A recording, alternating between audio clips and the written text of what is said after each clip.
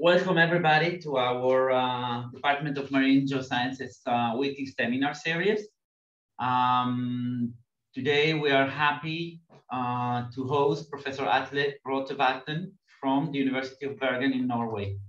Before I start to present and I present uh, uh, Professor Rotevatn, I have been requested to uh, remind all the students to um, about the call of abstract for the ninth Haifa conference in marine sciences uh, with a deadline approaching on 14th of April. Okay, the conference will be held at 19th of June at the University in Safdia Uni Auditorium.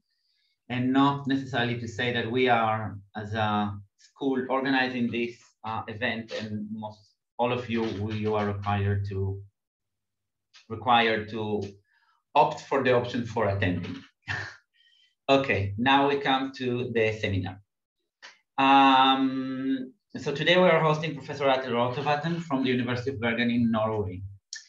Uh, Atle Rotevatn is the head of the department starting from January 20, uh, 2022 and professor of structural geology and basin analysis at the Department of Earth Science at the University of Bergen. He is also the editor-in-chief of the, of the international scientific journal Basin Research. Atle holds a, a, a, master degree from the University of Oslo and a PhD from the University of Bergen.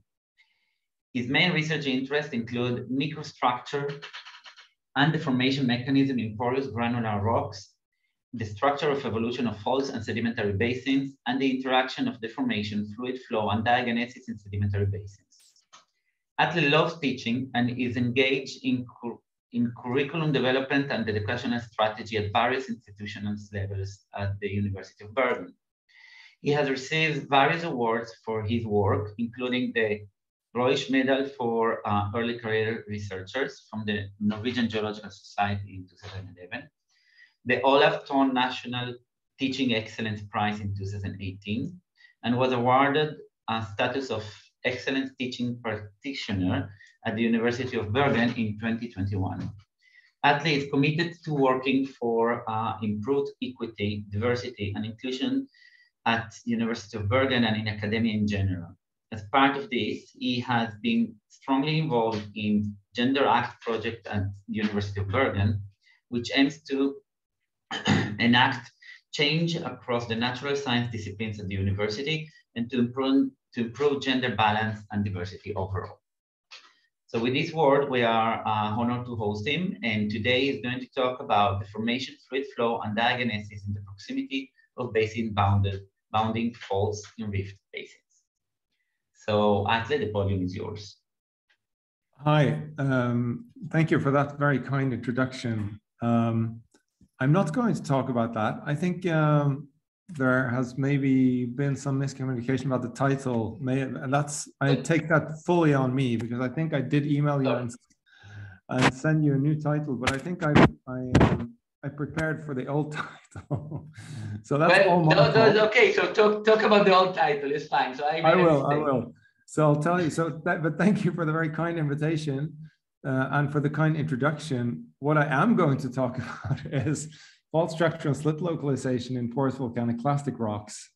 Um, and um, let me just see here. I'm just going to move some of these tool lines here so I can see my screen. Yeah, apologies for that. anyway, um, for those who came to hear about uh, rift basins, um, I'm sure you'll, you'll, you love volcaniclastic rocks anyway.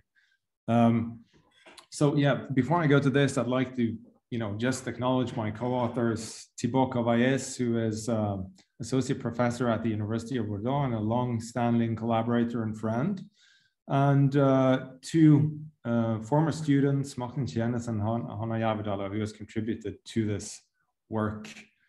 Um, so this is what this looks like, these porous volcaniclastic rocks.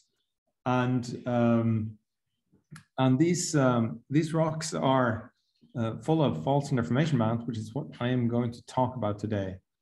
Um, I can, I can, uh, I can just, uh, I'm just trying to remember if I, if I ever wrote an abstract and sent to you. Uh, but anyway, this is what I'm talking about now. So we'll just, uh, we'll just go with that. Um, so volcaniclastic rocks. Um, volcaniclastic, what is that? You know, volcaniclastic refers to basically all clastic sediments composed mainly of particles of volcanic origin, regardless of how that sediment formed. So the processes responsible for volcaniclastic sedimentation ranges from the purely igneous on one hand to normal sedimentary process on the other, and with sort of complex interaction of igneous and sedimentary process in the middle. So you can imagine that in, you know, magmatic petrology, these kind of rocks are often being ignored a little bit. And also in sedimentology, they're kind of being a little bit ignored. So they kind of fall between. And the pictures here is from the 2021 Tonga eruption on the right, where you can see volcaniclastic deposition in action. Um, and over here, you can see on the left, uh, the Shitiping tuffs in, in Taiwan. Um, I'm just gonna do a laser. Can you see a laser pointer now? It's pointer options, laser pointer. Can you see my laser pointer now? Yes, we do. Okay, good. So on the left here, you can see the Shitiping tuffs in Taiwan, which is the study area for some of the stuff that I'm going to show you today. So why study fault structure and slip localization in volcaniclastics? Well, Volcan, volcanic and volcaniclastic rocks cover more than 60% of the Earth's surface, so that's one good reason to study them. Um, and fault zones cutting volcanic and volcaniclastic rocks represent significant seismogenic sources worldwide. And here are some examples of, of earthquake faults with known earthquakes that run through volcaniclastic rocks. And also fault zones in volcanics and volcaniclastics are important for transmitting and trapping fluids such as water, hydrothermal fluids, hydrocarbons, as well as for fluid rock interactions, you know, with implications for ore forming processes and, and also chemical carbon sequestration in, in basalts. So if we want to talk about fault localization in porous volcaniclastics, we, we need to take a step back and talk about deformation accommodation in porous granular rocks in general. And that knowledge has been developed, you know, pretty much in, in quartz sandstones in the Western United States. Um, deformation bands and deformation band faulting. So we'll talk about that for a few minutes. So porous and granular rocks are kind of special. They um, they have they consist of grains and the pores around them and the formation bands sort of form by the crushing of the grains, to put it very simply. Um, and here is, you know, a sketch of a fault zone and the position from tip to the actual slip surface can be seen as sort of a proxy as well for the different stages of evolution along the fault. Whereas the tip is at the very early stage, you can see a more mature stage of faulting when you uh, get to the more central part of the fault zone. So also, you know, how did we become interested in this? We've, we've, we've uh, in, in, in deformation of volcaniclastics, we've worked in uh, with deformation bands in other rock types for many, many years. And um, for me, it started during my PhD. My PhD supervisor was Håkon Fossen, who is a you know very um, very well-known structural geologist and who's worked on deformation bands um, for a very long time. So and also me and my students have worked on this for a long time. Here are some of the examples of places we worked in Nevada with Louisa, who did her PhD in 2015. Um, uh, this is actually Greg Ballas, who was a collaborator on the project. And also in Utah, where we've had, uh, here are a couple of guys who were master students at the time. Um, they, they did their master thesis in, in 2020. There's deformation bands in Utah. And we also looked at deformation bands in carbonate rocks. So in Malta, we worked, and uh, we had some students there as well, Ellen Tool, Simon Heidi Foxmark over here. So we've been interested in deformation bands for a long time. In New Zealand, we, we were looking at the effect of coal entrainment in deformation bands. Um, as you can see here, for example, there's coal entrained in the deformation band, and, and, we've been looking at, you know, what is the effect on the deformation and so on. And uh, Rebecca Achtershov did a master's thesis on this work just last year. And Matteo de Muchtas, who's also been involved in this, is currently a postdoc here.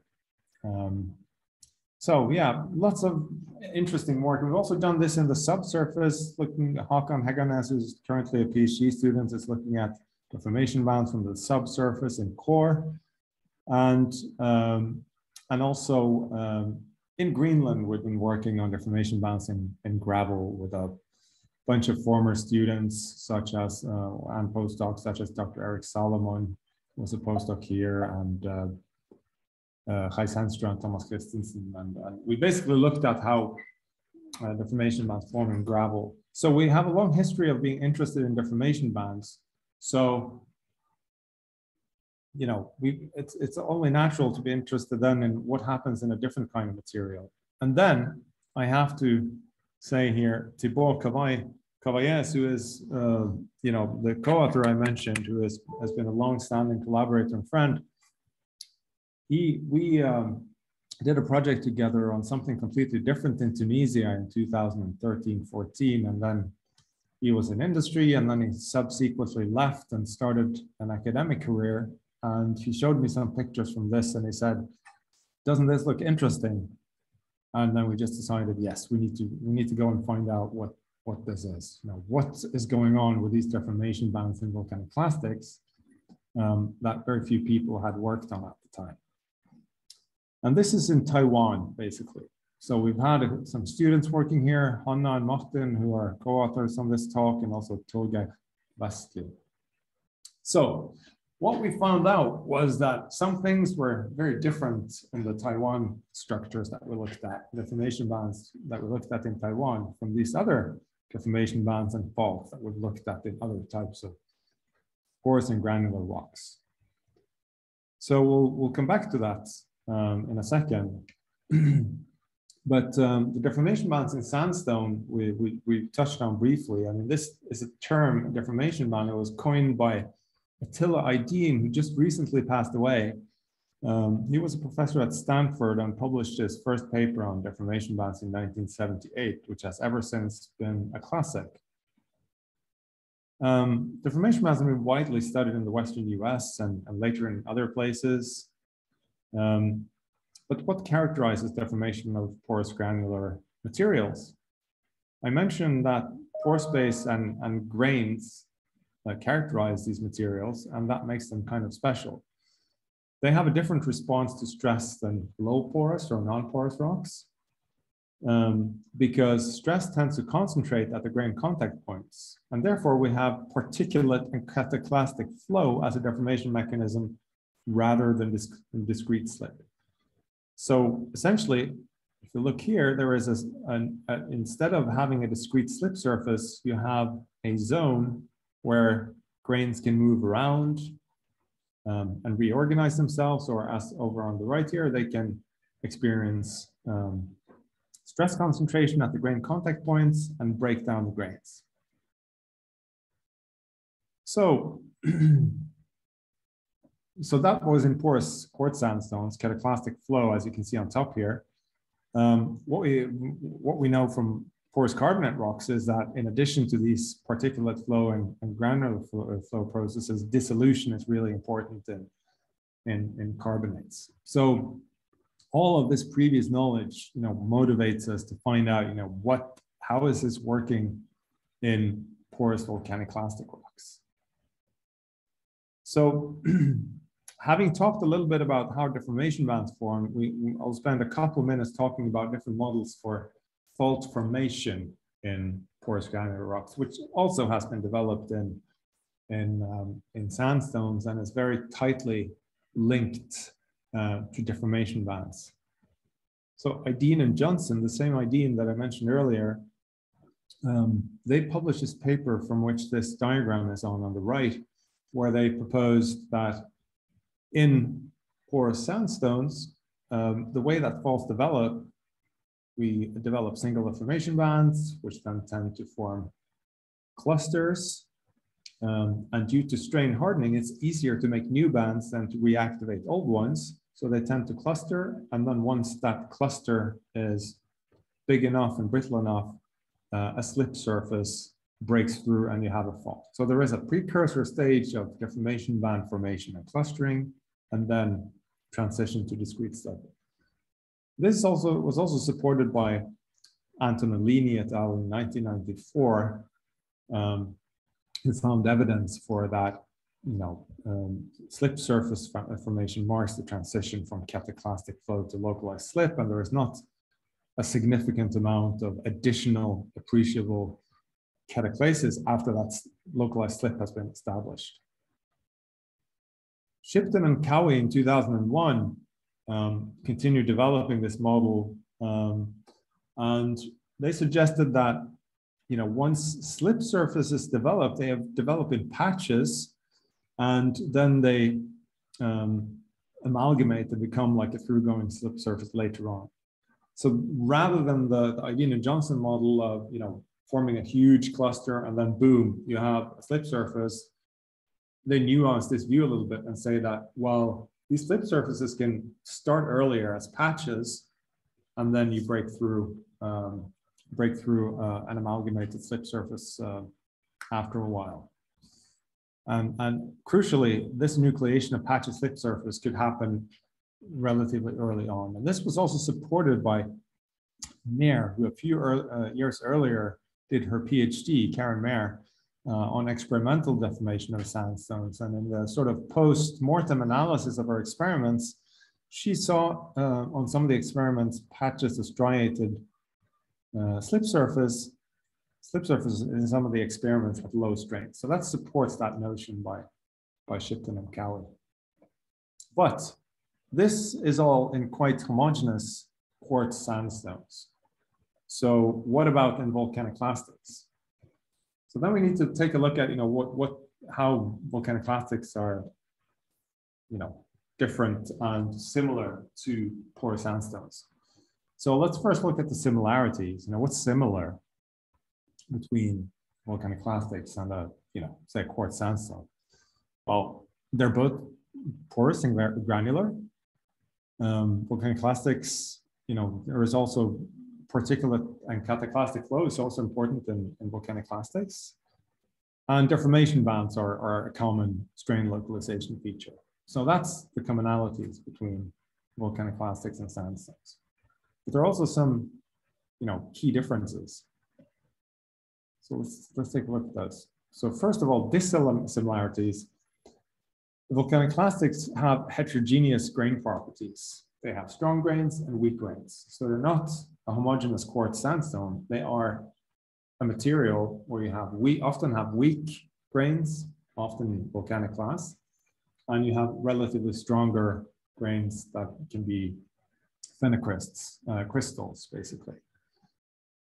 And the grains may also have anisotropic mechanical properties. So for example, pyroxene, amphibole, and feldspars, they have mineralogic weakness planes, so cleavage, and which means that they're weaker in some directions than others. So that's also different to, to, to uh, a sandstone, which consists of quartz. And this, as we shall see, has some implications for, for how they behave when they're deformed. So those Shitiping tuffs in Taiwan that we're going to look at, that was all this you know, background information. So let's just quickly, before we go into the nitty-gritty of the structures in Taiwan, just look quickly at what Taiwan is and the study area. Taiwan is sitting here uh, with this Philippine sea plate moving at about eight centimeters a year, crashing into the Eurasian plate.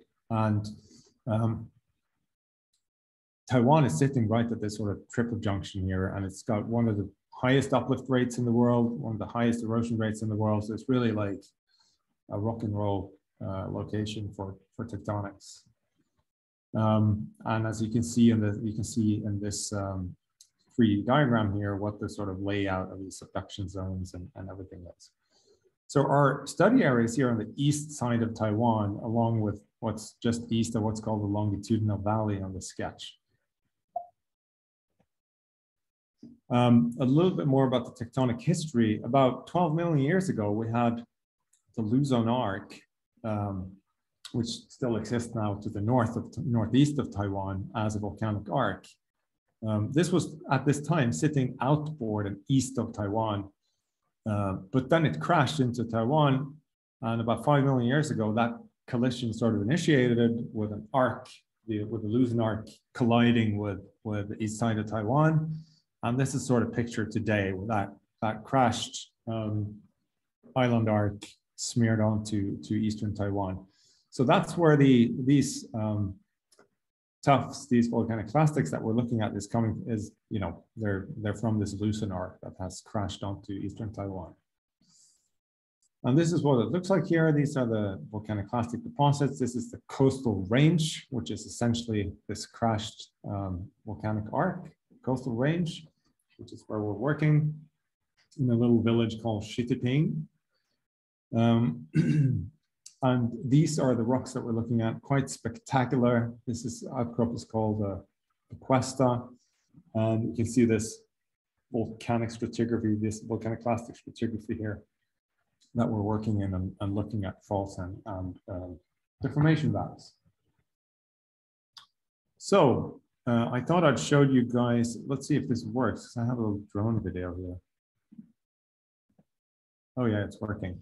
So uh, essentially we've uh, mapped out, you know, structures using drone images and of course working on the ground, uh, doing sampling, and microstructural analysis, uh, and so on. But this gives you kind of an overview. This is the Shitiping village.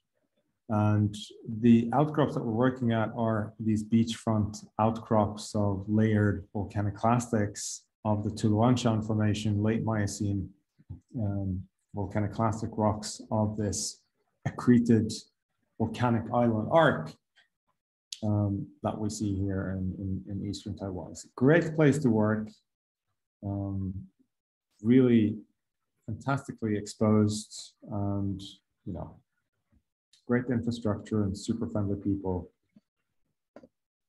And here's just one more little drone video, um, just showing, it will show you how these are just islands just offshore, which, you know, flying with a drone makes us able to get the overall sort of structural picture. You can see here, this is the bedding going like this, and you can see these structures that go across the bedding, those are faults and deformation bands. And now the camera will turn down and you can see here that faults or deformation bands cutting across the bedding.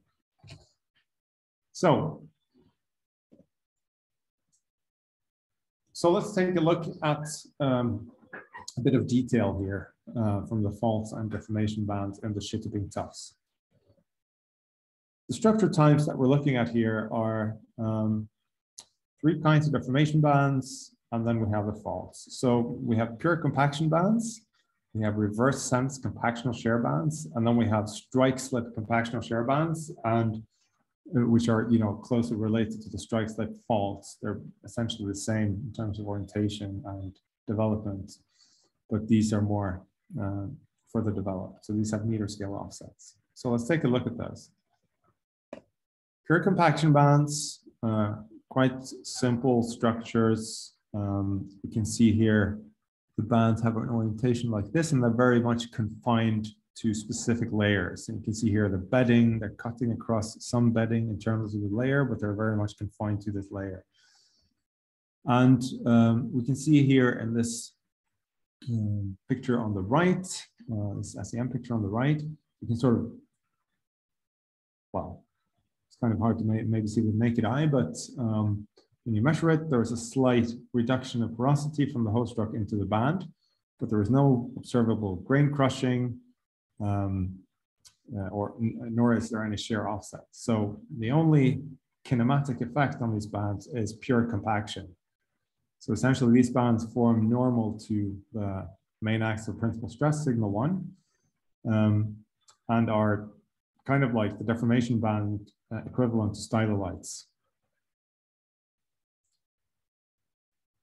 And then we have the second type of deformation band that we see here, which are called reverse, which we call reverse sense compactional shear bands. It's a deformation band that is sort of layer parallel, and then it ramps up like a sort of a ramp, flat ramp type fault structure. You can see the bands here, and you can see the interpretation on the right here. Um, and those who have a sharp sense of observation will see that you know the scale bar here is on the several centimeters. So the offsets on these individual bands is many centimeters. And if you've ever worked on deformation bands in class in, in, in sandstones, in poor sandstones, quartz sandstones, you'll know that you know each individual band will, will often have a shear offset of about a millimeter. This is an order of magnitude greater, which is a first interesting observation. You know, why is that? And you can see that there's clear grain size reduction. This is just a, a close-up photo. You can see this is the host rock underneath the band here, and this is inside the band. You can see that the grains are much smaller inside the band here than they are outside the band. So if we take a look uh, under the microscope, under the SEM, we can see that uh, we can take a look at the microstructure. First of all, you can see uh, on, on the left here, there is a line which marks the, the border of the band to the top and the host rock at the bottom. And in the host rock, you can see this, the black, you know, porosity is, is greater than, than in the band. You can also see these pointy, sharp things. They are volcanic glass shards. And those glass shards are absolutely crushed inside the band. So there is a significant degree of grain crushing within these bands. Another very interesting observation here is that we can see that in the minerals, uh, in the crystals, remember I said that, you know, the volcaniclastics, they're, they have glass shards, and they also have crystals of various things. So here are hornblende crystals, and we can see that the cleavage planes in the hornblende are being exploited. So we can see here, for example, um, extension fractures opening along the cleavage planes, which is contributing to the cataclastic deformation of these crystals. So the third type of deformation band that we have here are strike slip compactional shear bands. And, and we can see here quite big offsets. Um, and you can see the hammer for scale here. It's it's offsets on you know more than 10 centimeters, which is exceptionally huge for deformation bands. Compare them to uh, quartz sandstones. Um, interestingly, you can also see that once these bands cross through um, more brittle types of, uh, of rocks, um, we can see that they transition into shear fractures like this. Um, and let's take a little bit of a look at the microstructure here as well. We can see uh, a couple of interesting things here. We can see um, glass, which is damaged on the side of the band. We see grain size reduction within the band here. And down here on this image, we can see this is the edge of a band here touching a hornblende crystal. And you can see that on the left side of the hornblende, this is starting to be incorporated into the band by kind of like shaving off, uh, crushing the hornblende along the cleavage planes. So very interesting, this role of the cleavage planes in the hornblende. And then we can see here, uh, we also see an effect of pumice smearing. We can see this pumice clast is smeared along the band. So that's, that's kind of interesting as well. And again, we can see how cleavage planes, they're breaking up along cleavage planes, and, and we can envision how this is um, incorporating or sort of how this is contributing to the disintegration of the grains and their incorporation into the, to the bands. Right.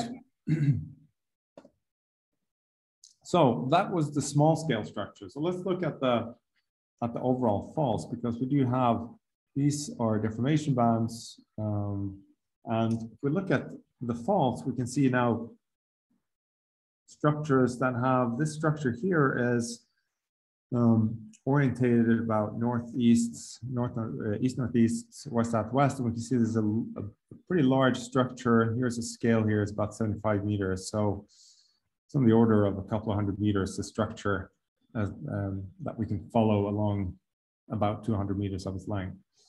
And um, what we can see here is that the fault is comprised, it's a fault zone comprised of slip surfaces and a damage zone of deformation bands, sinistral and dextral strike slip deformation bands.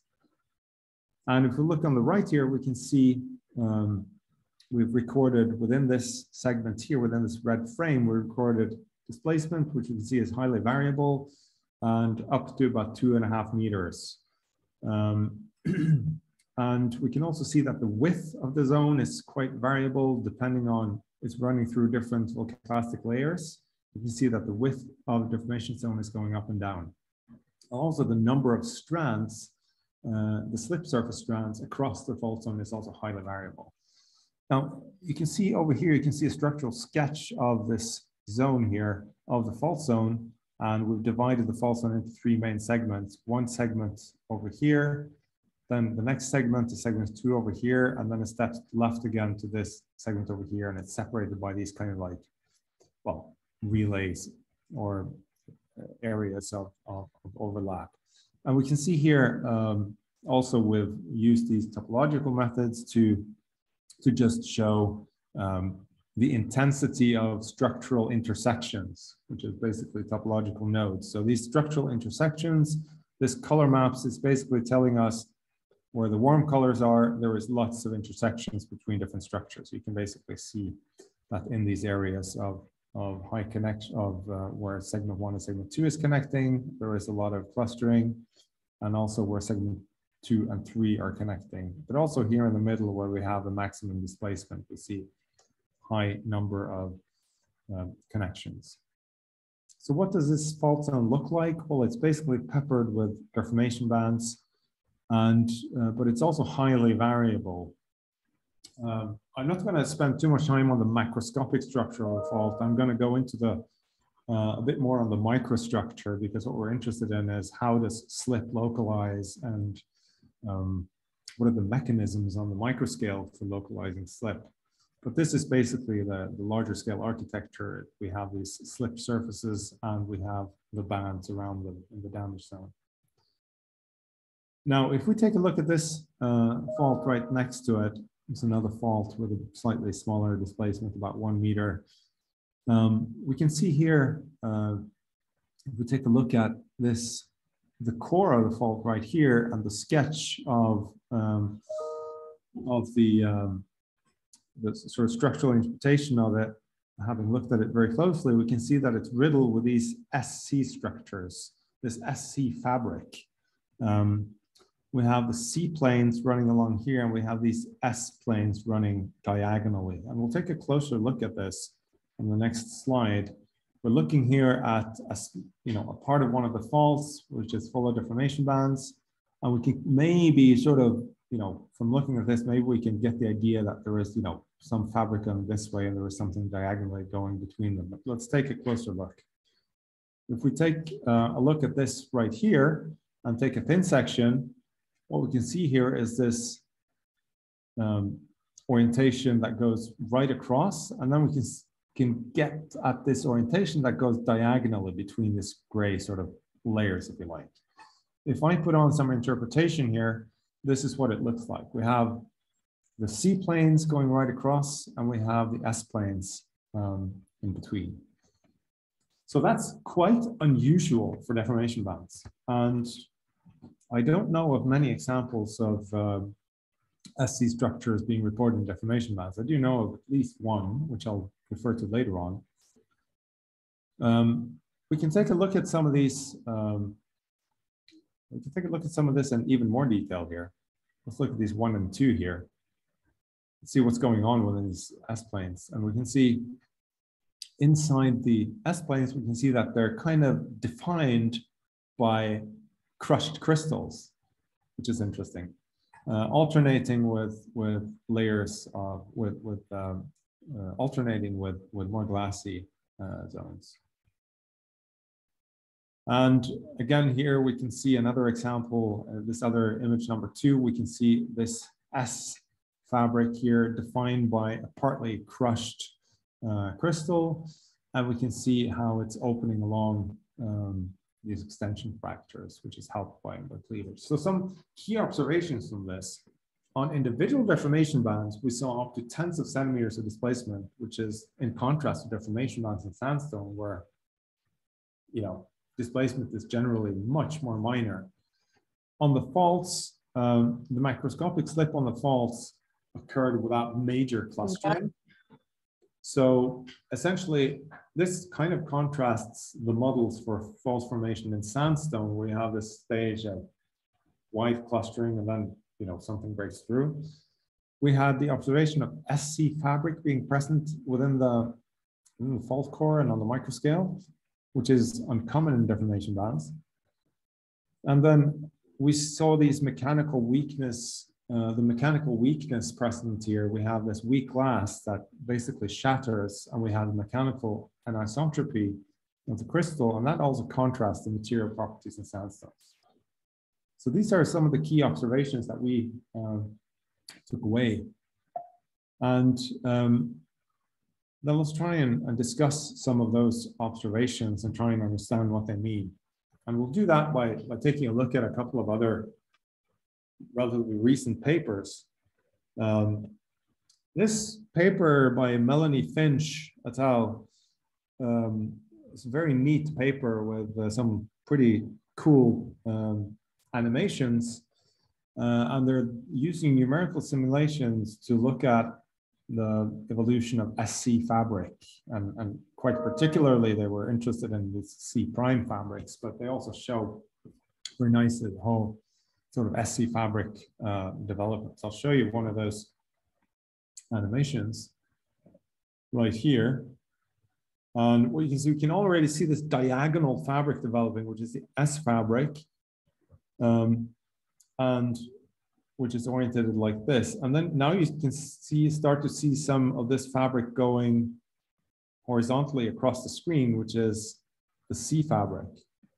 And I'll take that, I'll run that once more so that you can see it. Start looking for the S fabric that forms first, and, um, and then afterwards the C fabric starts forming. So the S fabric is will form diagonally across the screen, and then the C fabric will then start to form horizontally across the screen. Oops. So we can see here already we get this diagonal orientation of the S fabric. And now we're, we can start seeing this C fabric developing as well. So that's quite cool. And um, one of their findings uh, is that, you know, for this type of fabric to develop, you need to have a weak phase present. So basically you need to have something that's weaker than something else for this type of fabric to develop. And that corresponds pretty well with the material properties of volcaniclastic rocks. We think the work of Finch et al. is saying something clever about that we can use to understand why we get SC fabrics developing in these type of rocks, but not in the much more homogeneous quartz sandstones. Probably because we have this weak phase present, which is facilitating the development of SC fabric. So another related problem is, you know, this slip surface development, you know, why do we have um, why do we have such large slip accumulating on these deformation bands seemingly at an early stage? We get tens of centimeters of slip on individual bands, which is not common in other types of deformation bands in quartz sandstones. And we hypothesize that this has to do with these, um, both with a mineralogic weakness planes, the cleavage, but also the also again the fact that you have a weak phase. And this is supported by this paper, um, Nicchio et al. paper from um, 2018, was looked at different foliation development of deformation bands in, in arkosic conglomerates and sandstones in Brazil. And they conclude that the weak phase is key to early slip surface development and SC fabric formation through preferential crushing of, of, that, um, of that weak phase.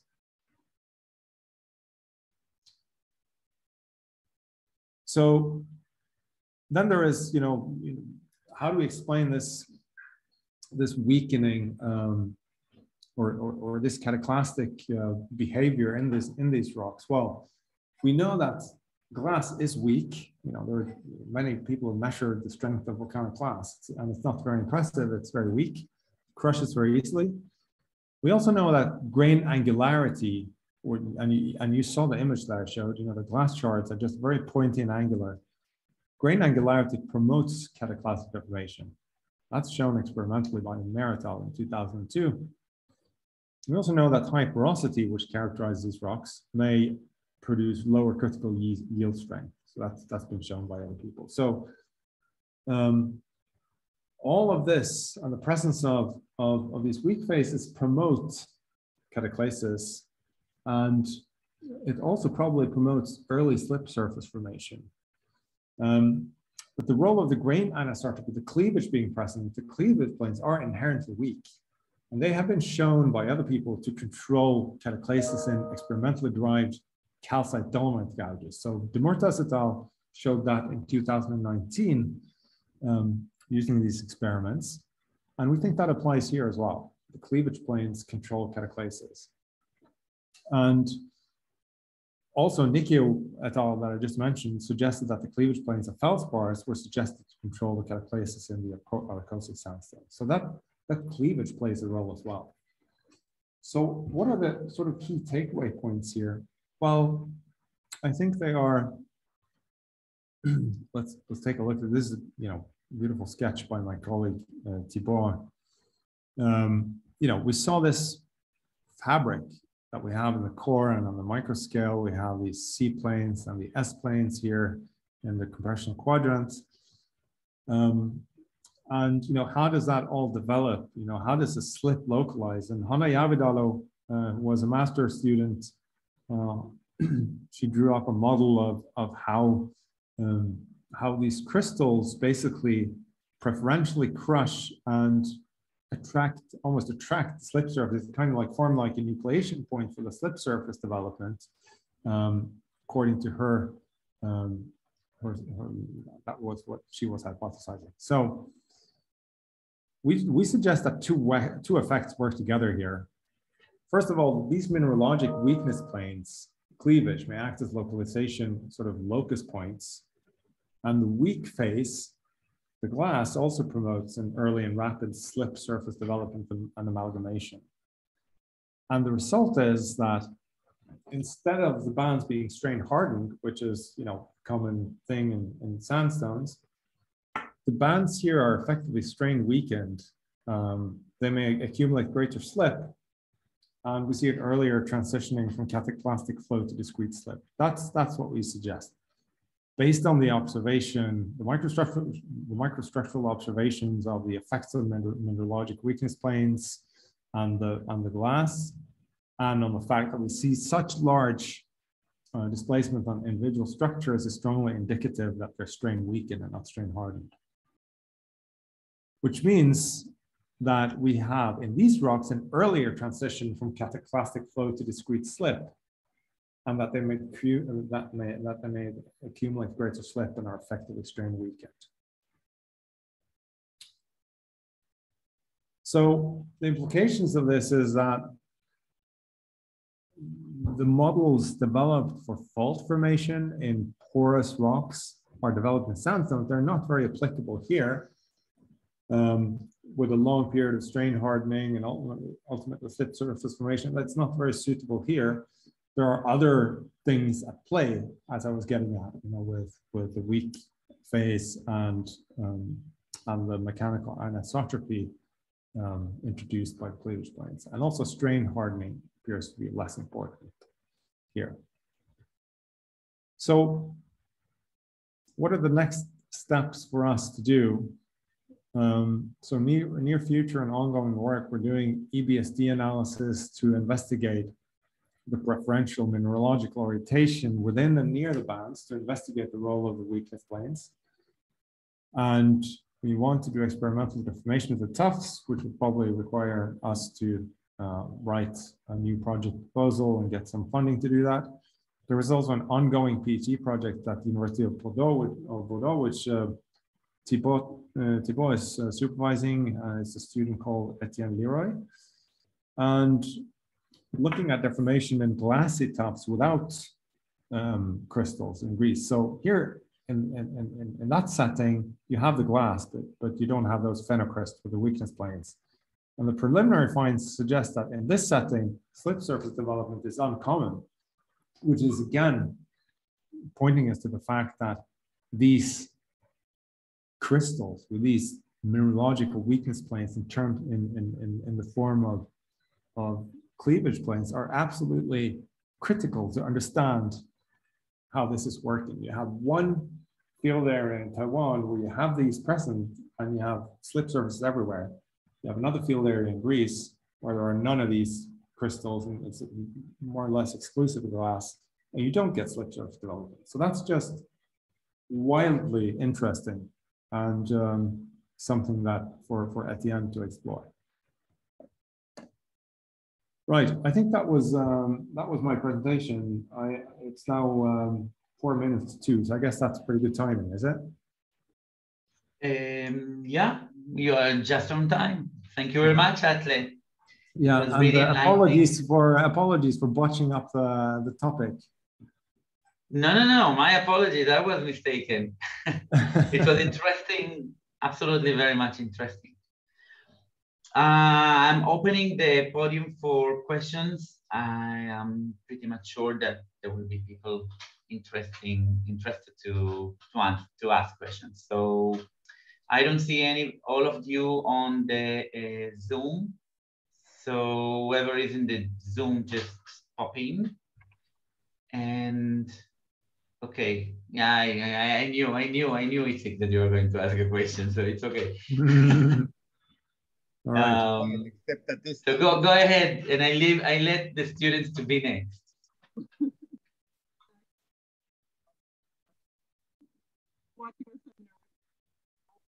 But before, before, say hi, Ale. Ale. Good to see you. Hi. So, um, yeah.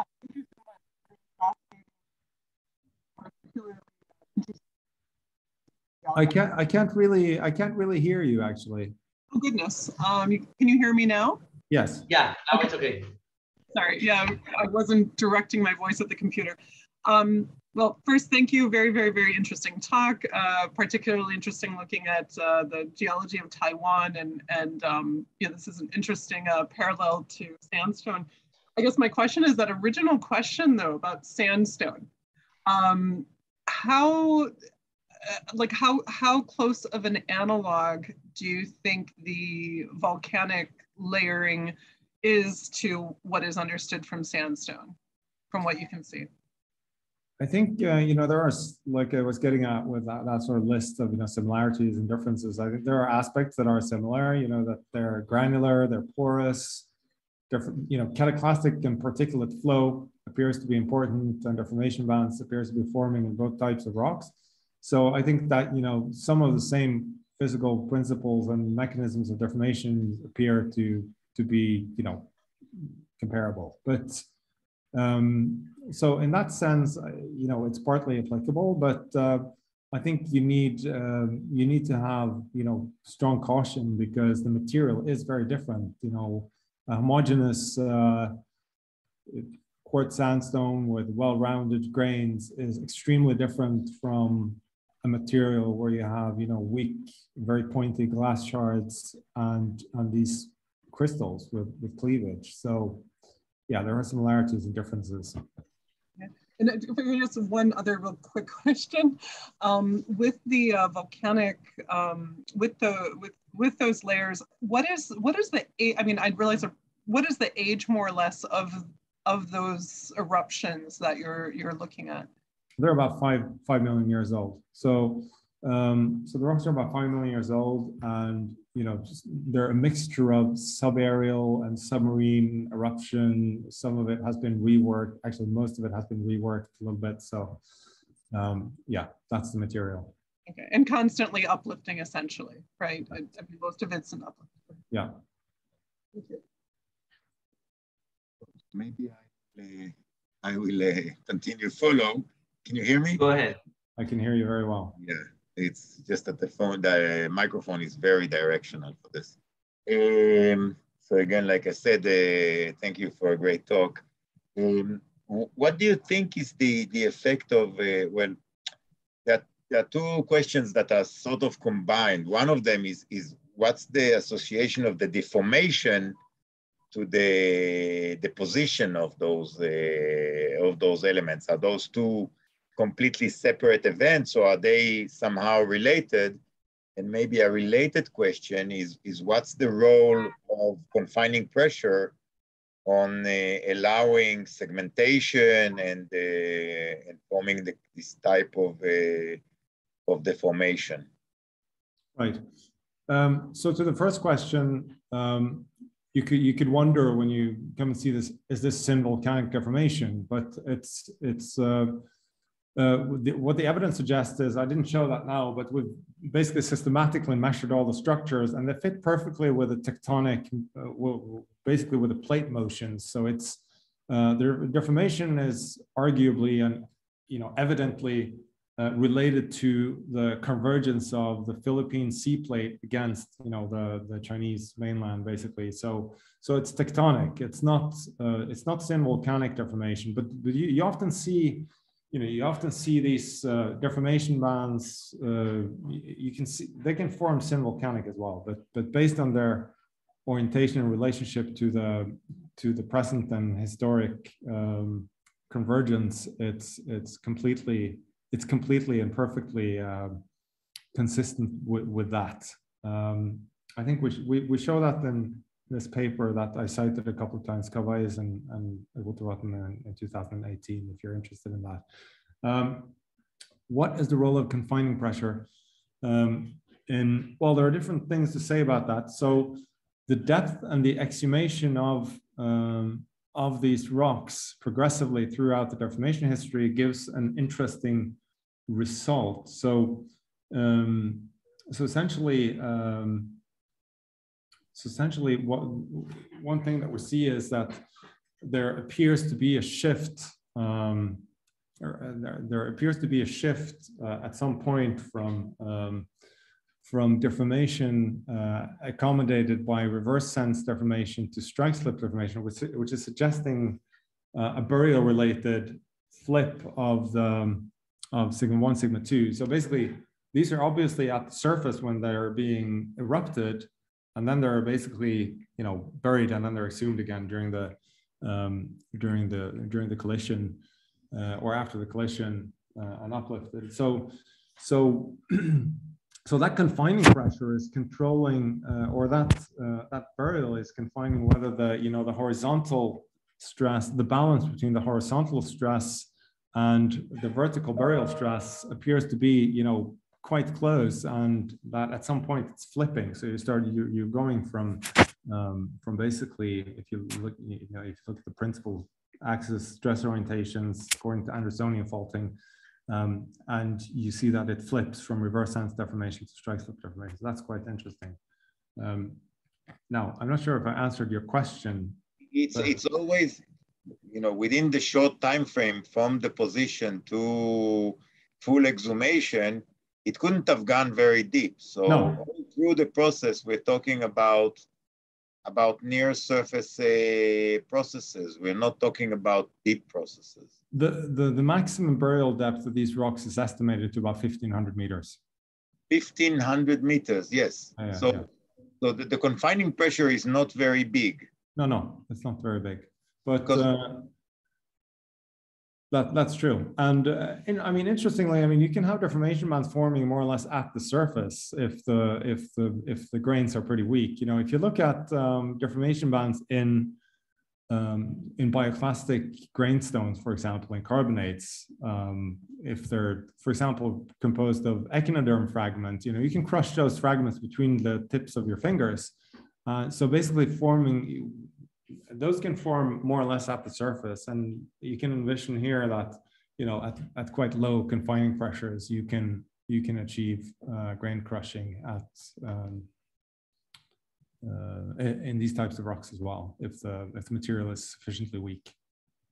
But my point is that uh, maybe if you if if all the process was going uh, much deeper, yes, near to the where where where strength is much bigger and and confining pressure is much bigger and where the major earthquakes are happening is it is it happening the same? Is it are we seeing something that is uh, really representing the situation?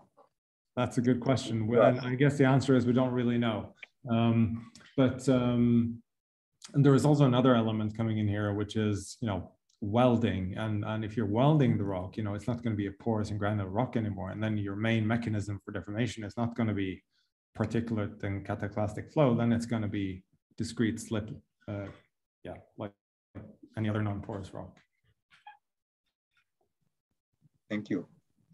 Thank you very much. Um, yeah, I was thinking actually, I was thinking actually that you you have exceptional, very exquisite examples for what you're showing also on outcrops here in Israel. Well, there are not volcanic clastics, but uh, in the Dead Sea, you know. And um, I wonder if uh, one day you could, we could bring you around um, this area. Not to mention the seismics that uh, Itzik is dealing with. And, and yeah, the, the, the invitation still stands. Thank you. Yeah, I would love to come. I mean, there's been a pandemic in the meantime, but now things are loosening yes. up, so it's uh, it's not yeah. possible. But also, but also, Ioannis wants to continue with the paper. We need to. Oh. Fantastic. Well, let's, let's the, the, the, the, the paper thing. Let's leave it for another more close discussion. Let's say. Uh, we are still on the questions, so uh, somebody else has a question, perhaps Pasha in the room over there.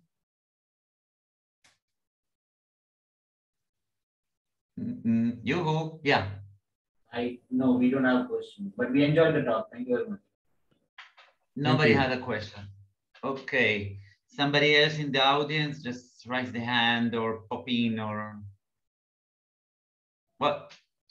So everything was clear then.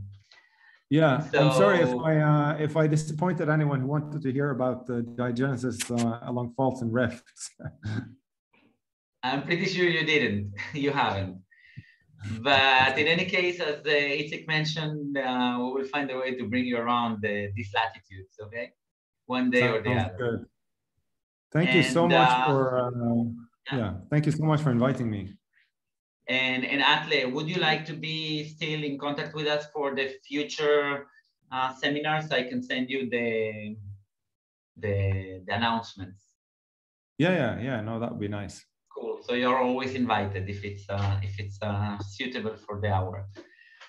Thank you. Cool. So everybody, next week we continue with our uh, uh, seminars, uh, and I think we are moving to Spain. We're still in Europe, same time zone. So everybody, see you next week. Thanks, guys. Bye. Bye.